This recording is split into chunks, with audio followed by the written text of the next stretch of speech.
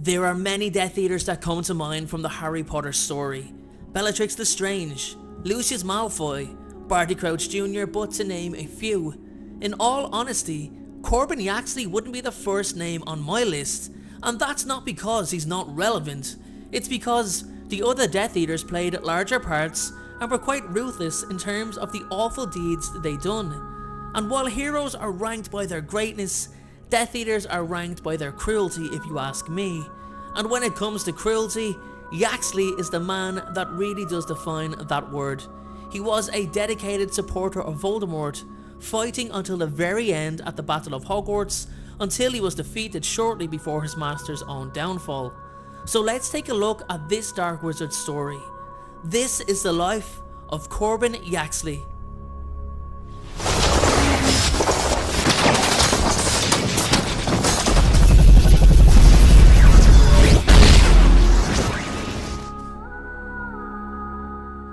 Little is known about Yaxley's childhood or his family.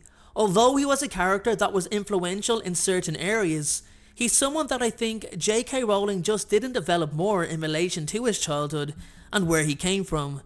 The surname Yaxley is of English origin and is believed to be from the Suffolk area of medieval times.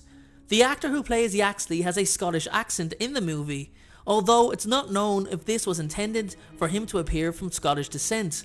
Due to his locality, he most likely attended Hogwarts School of Witchcraft and Wizardry. His strong pureblood beliefs and willingness to use such derogatory insults to Muggleborns leads me to believe that he was sorted into Slytherin House. It's also likely he joined the Death Eaters immediately after graduation. Corban Yaxley was described as having hard, blunt features and an unpleasant smile. He was relatively tall and has long, pale blonde hair tied into a neat braid that hangs down his lower back. He shared Lucius Malfoy's sense of superiority over his fellow wizards surrounding him, attiring himself in long, magnificent flowing robes to set himself apart from his fellow ministry officials, and also to highlight his position of power and authority. Corban was one of the many Death Eaters who fought in the First Wizarding War. After Lord Voldemort's first downfall, he managed to avoid imprisonment in Azkaban, however it's not known why. Most likely he used the Imperius Curse excuse. Like many others, Yaxley believed Voldemort had been finished and thus did not attempt to find him. He moved forward, accepting the society he once thought he could help change, and took a job in the Ministry of Magic where he wasn't exactly the most likeable work colleague. Yaxley returned to Voldemort after his rebirth and immediately became once more an active Death Eater during the Second Wizarding War. He was part of the new recruitment force Voldemort had created, sending Yaxley and others to seek out many powerful witches and wizards in order to have them join their cause. However, whether the join us or die rule was implicated at this time was unclear, as well as the kidnapping of those who just wished to remain neutral. On June 27, 1995, just three nights following Voldemort's return, Yaxley arrived at Horace Slughorn's house under cover of dark, intending to recruit him or take him by force to Voldemort. Transfiguring himself into an armchair, Slughorn successfully evaded the Death Eater's detection. A few days later, Slughorn locked up his house and went on the run, often squatting in Muggle dwellings while the owners were away, where he felt undetectable. However, Slughorn later discovered that Voldemort just wanted him to teach at the new Hogwarts when he seized control, showing that he did have a certain line of respect for the man who confirmed how to achieve immortality all those years ago. So let's fast forward to June of 1997. Yaxley was among the group of Death Eaters who led an assault at Hogwarts Castle. Along with Alecto Carrow, Amycus Carrow, and Fenrir Greyback, they managed to overpower the Aurors who were assigned to guard the castle, reaching the astronomy tower where he pressured Draco Malfoy to do the deed Voldemort ordered him to perform, kill Albus Dumbledore. Yaxley was determined to strictly follow the orders, attacking Greyback when he moved forward to attack Dumbledore. Before Draco could bring himself to kill his headmaster, Severus Snape arrived and seeing Draco unable to do it, murdered the headmaster himself blasting the body from the tower.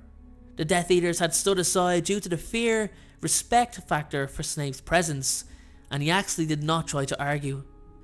The Death Eaters proceeded to flee from the castle before any of the Order of the Phoenix members summoned the Ministry of Magic reinforcements. While getting down from the astronomy tower, Yaxley was hit with a full body bind curse by Harry Potter. Later, when the Ministry of Magic officials searched the tower, they found Yaxley and he was likely arrested and taken to Azkaban.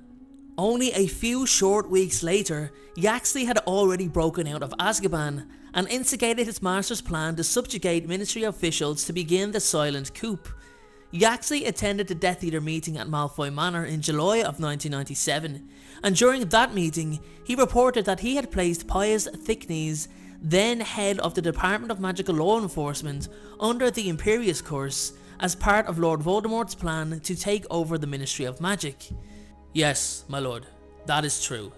But you know, as head of the Department of Magical Law Enforcement, Thicknesse has regular contact not only with the Minister himself, but also with the heads of all the other Ministry departments. It will, I think, be easy, now that we have such a high-ranking official under our own control, to subjugate the others, and then they can all work together to bring Scrimgeour down. Many of his fellow Death Eaters were impressed Though Voldemort believed Snape's estimate of when Harry Potter would be removed from his relative's home over Yaxley's, Yaxley fell for the trap set by Alastor Moody on that count, whereas Snape knew the true date, setting the stage for the Battle of the Seven Potters. On August 1st, 1997, Voldemort's plan and Yaxley's efforts succeeded when Minister Rufus Scrimgeour was murdered and Pius Thicknesse became the puppet Minister for Magic. The ministry fell under Voldemort's control, and Yaxley, as an inner circle Death Eater, was made the head of the Department of Magical Law Enforcement. In this role, he participated in at least some of the interrogations and harassment of Muggleborns, along with Dolores Umbridge, head of the new Muggleborn Registration Commission, while using his cruelty and new authority to intimidate lower ranking employees such as Reginald Cattermole. The Ministry also designated Harry Potter as undesirable number 1 under the excuse of him being wanted for questioning of Dumbledore's death. Snatcher groups were then dispatched to capture any Muggleborns who refused to register, along with Order of the Phoenix members and Harry himself. The Death Eater led ministry also took over Hogwarts, and Severus Snape was made headmaster, while Amycus and Alecto Carrow were appointed professors. Yaxley played a major role in this infiltration alongside Dolores Umbridge. During Umbridge's interrogations of Mary Cattermole, as part of the Muggleborn Registration Commission, Yaxley sat next to her observing the case. He refused to pity her children, while mocking her questionnaire answers, and having intimidated the man who disguised as her husband earlier to get his office dried in time. When Harry and Hermione reached the courtroom, they saw Umbridge who had the locket around her neck, Harry, under the invisibility cloak, stunned Yaxley and Umbridge, and when Harry, Hermione and Ron freed the Muggleborn prisoners, Yaxley woke up and pursued them angrily. Yaxley madly began to chase the trio as he ordered all Floo network transportation exits to be sealed. At the last moments he grabbed Hermione's arm as the trio disapparated. Hermione managed to evade him by using a revulsion jinx, but not before revealing the location of 12 Grimmauld Place, Thus, the house was no longer a safe hideout for the trio, while leaving Ron splinched. After this, the trio had to go to their tent in the Forest of Dean. Harry speculated that Yaxley was bringing fellow Death Eaters into the house via apparition. On May 2nd, 1998, Yaxley participated in the Battle of Hogwarts. He and Antonin Dolohov stood guard in the Forbidden Forest during the brief interlude that followed Voldemort's ultimatum to Harry Potter. They were followed back to the Death Eater camp by Harry under his invisibility cloak. During the final moments of the battle, Yaxley was defeated by Lee Jordan and George Weasley. His ultimate fate is unknown, though if he survived, he was most likely captured and sent to Azkaban along with the rest of the surviving Death Eaters. Thank you so much for watching, I truly truly appreciate your support.